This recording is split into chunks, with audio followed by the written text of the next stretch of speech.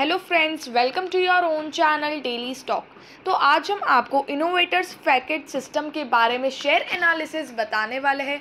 साथ ही में आपको ये भी बताएँगे कि आपको इस शेयर में कैसे निवेश करना चाहिए। आगे बढ़ने से पहले, अगर आपने हमारे चैनल को सब्सक्राइब नहीं किया हो तो आप हमारे चैनल को सब्सक्राइब ज़रूर कर दीजिएगा। तो इस कंपनी के बारे में हम आपको, ये कंपनी क्या काम कर करती है इसके कॉम्पिटिटर्स कौन कौन है? शेयर प्राइस चार्ट बताएँगे शेयर होल्डिंग पैटर्न बताएँगे। So let's begin Innovators facade system, ये मेनली एक ऐसे बिज़नेस में एंगेज्ड है, जहाँ पर ये डिज़ाइन इंजीनियरिंग उसका फैब्रिकेशन उसका सप्लाई उसका इंस्टॉलेशन ऑफ़ फैकेट सिस्टम अब जैसे कि अगर आप बड़ी बड़ी कंपनीज़ देखते हो तो उसका जो आउटर एरिया होता है, जो पूरा विंडो से, जो मिरर कांच से बना हुआ होता है, वो चीज़ ये कंपनी बनाती है. और इनसाइडर जैसे कि कर्टेन वॉल सीलिंग हो गई है मतलब वो सिस्टम हो गया है। उसके बाद इनकी डिफरेंट डिफरेंट उसी में ही अलग अलग चीज़ें हैं अलग अलग पैटर्न्स है और सिर्फ़ आउटर पार्ट नहीं इंटीरियर पार्ट में भी जो अलग डिज़ाइंस होती है, जो कांच की बनी हुई होती है, जो जो दो पार्ट को डिवाइड करती है, वो टाइप की चीज़ें भी ये कंपनी बनाती है और मेन इनका यही काम है। मार्केट कैप इसका 103 करोड़ का। तो ये एक स्मॉल कैप कंपनी है, बट करंटली इसका जो स्टॉक प्राइस टू अर्निंग है वो 63.4 पे है और इंडस्ट्री का है 37.3 तो इंडस्ट्री के कंपैरिजन में तो अभी ये काफ़ी महँगे प्राइस पे ये शेयर मिल रहा है। मतलब हालाँकि पहले कंपनी का रेवेन्यू भी हर साल बढ़ रहा था और प्रॉफिट भी धीरे धीरे कंपनी अच्छा कर रही थी, बट अभी दो तीन साल से कंपनी का रेवेन्यू भी थोड़ा ऊपर नीचे हो गया है। साथ ही में प्रॉफिटेबिलिटी भी कंपनी की गिर चुकी है। और उस रीज़न से यहाँ पर जो स्टॉक प्राइस टू अर्निंग है, वो इतना ज़्यादा दिख रहा है। उस रीज़न से कंपनी के रिटर्न्स भी बढ़िया नहीं है, क्योंकि जब कंपनी का प्रॉफिट ही अच्छा नहीं आया तो कंपनी को कैपिटल पे भी अच्छा रिटर्न ऑब्वियस सी बात है नहीं मिला है इक्विटी पे अच्छा रिटर्न नहीं मिला है। डेट कंपनी के पास ज़्यादा नहीं है twenty four point six crore का ही डेट है तो ये था फंडामेंटल्स कंपनी के, जो इतने स्ट्रॉन्ग अभी नहीं है, क्योंकि अभी कंपनी की रेवेन्यू ठीक है, फिर से थोड़ी बढ़ने लगी पिछले दो साल से गिरी थी तो अभी वो फिर से थोड़ी बढ़ने लगी और प्रॉफिट भी थोड़ा बहुत इंक्रीज़ होने लगा है ओके okay? फाइनेंशियल ट्रेंड की अगर हम बात करें तो 2019 में कंपनी का रेवेन्यू था 158 करोड़ का। और इसके पास्ट ईयर्स में अगर आप देखोगे तो हर साल धीरे धीरे मतलब ऐसा नहीं है कि बहुत अच्छी तरीके से और अच्छी तरीके से इंक्रीज़ हुआ, लेकिन कांस्टेंट वे में धीरे धीरे कंपनी का रेवेन्यू इंक्रीज़ हो रहा था और उस टाइम कंपनी का profit four crore sixty six lakh का था। बट इन 2020 में कंपनी का जो रेवेन्यू है, वो यहाँ पर 142 करोड़ इतना ज़्यादा डिफरेंस नहीं आया थोड़ा सा गिरा था। बट कंपनी यहाँ पर उस टाइम लॉस में आ गई थी एट करोड़ वन लैख के कंपनी लॉस में थी। 2021 में 2021 का जो पीरियड था, उस टाइम तो कोरोना अच्छा खासा था। तो कंपनी के रेवेन्यूज़ उस टाइम कम हुए और काफ़ी ज़्यादा कम हुए हैं। डायरेक्ट आधे से भी मतलब और भी कम हुआ है। सिक्सटी सिक्स करोड़ का यहाँ पर कंपनी का रेवेन्यू है, जिसमें प्रॉफिट सिर्फ़ नाइन्टी थ्री लाख का था। And two thousand twenty two में फिर से थोड़ा सा रेवेन्यू बढ़ा है नाइन्टी करोड़ के आसपास आया है। और उस टाइम कंपनी को डेढ़ लाख से आई मीन डेढ़ करोड़ से ऊपर का प्रॉफिट था one crore fifty nine lakh का। Okay okay? तो यहाँ पर अब फिर से कंपनी का रेवेन्यू बढ़ता हुआ नज़र आ रहा है, फिर से कंपनी की वही प्रॉफिटेबिलिटी भी आ रही है।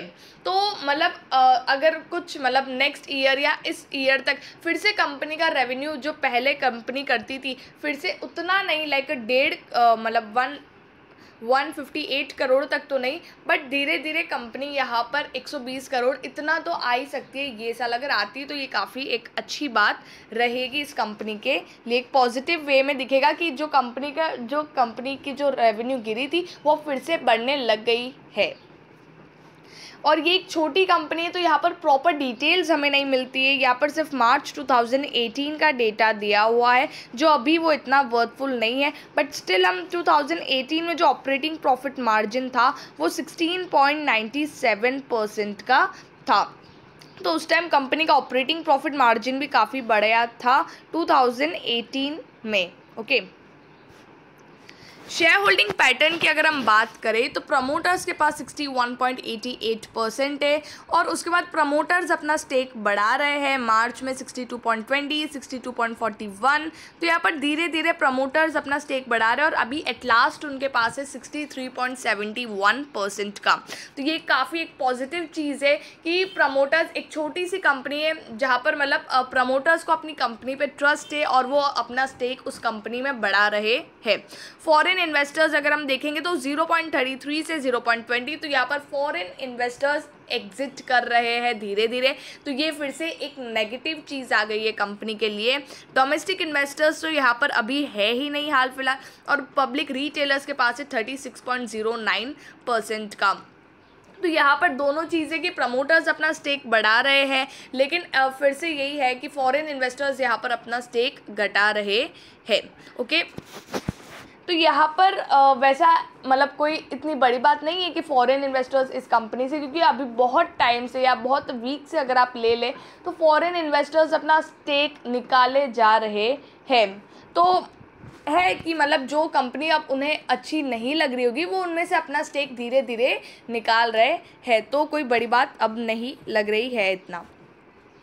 कॉम्पिटिटर्स अगर हम देखेंगे कंस्ट्रक्शन सेक्टर में तो यहाँ पर मैक्रोटेक डेवलपर है national standard then K N R construction Mahindra life rail Vikas P N C Infratech N C C and Innovators तो यहाँ पर अगर आप मतलब चाहे तो आप कंपेयर कर सकते हैं। यहाँ पर मार्केट कैप के हिसाब से कंपनी को यहाँ पर like one two ten order दिया हुआ है।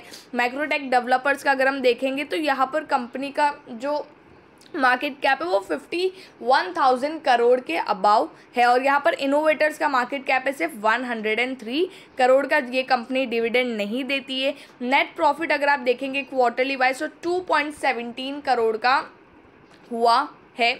ओके तो और profit wise I mean quarterly wise profit variance यहाँ पर नहीं दिया हुआ है, क्योंकि क्योंकि यहाँ पर इन कंपनीज़ में प्रॉपर डिटेल्स नहीं होती है और क्वार्टरली वाइज अगर वो आ, हर टाइम प्रॉफिट अपना नहीं बता पाते हैं तो ये जो चीज़ें हैं वो डेटा हम नहीं फाइंड आउट कर सकते हैं। सेल्स अगर हम देखेंगे तो इस बार उन्होंने twenty eight crore twenty nine lakh का इतना सेल्स किया है तो होप मतलब अच्छा खासा सेल्स कंपनी अब फिर से करने लग गई है। और अगर हम एस्टिमेट भी माने कि हर क्वार्टर में कंपनी तीस करोड़ जितना भी रेवेन्यू करती तो 120 करोड़ का रेवेन्यू तो कंपनी अपने आप पार कर रही है। आर ओ सी यहाँ पर अभी अच्छा नहीं है, क्योंकि आपको पता ही है कि रेवेन्यू मतलब पहले के मुकाबले गिरा है और प्रॉफिटेबिलिटी भी कंपनी की मतलब रेवेन्यू का यहाँ पर इतना कुछ नहीं है बट प्रॉफिटेबिलिटी कंपनी की गिरी है। ओके तो यहाँ पर कॉम्पिटिटर्स है इस कंपनी के, जहाँ पर आप कंपैरिजन कर सकते हो। एट लास्ट हम शेयर प्राइस की बात करें तो five year high eighty seven point ninety और currently fifty four point eighty पर है। तो जैसे कि अगर हम देखें तो एक महीने के अंदर ये चौदह परसेंट गिर चुका है और अभी ये अपने आई मीन mean, जो वन वीक का लो है लाइक जो फिफ्टी टू का था तो वो उसी के आसपास है अभी। और अभी भी अगर हम चार्ट देखें तो ये शेयर जो है वो थोड़ा गिरता हुआ ही नज़र आ रहा है। लेकिन लॉन्ग टर्म पर्सपेक्टिव से अगर हम देखें तो ये शेयर अच्छा लग रहा है। मतलब लॉन्ग टर्म के हिसाब से अगर आपको लेना है तो आप इसमें निवेश कर सकते हो ओके okay? और अगर ट्रेडिंग पर्सपेक्टिव से भी अगर आपको लेना है तो इट्स टोटली अपॉन यू आप उस उस वे में भी आप इस शेयर को ले सकते हो। आई होप आपको इनोवेटर्स पैकेट सिस्टम के बारे में सब कुछ समझ में आ गया होगा। अगर आपको वीडियो अच्छा लगा हो तो please like and share and subscribe our channel thank you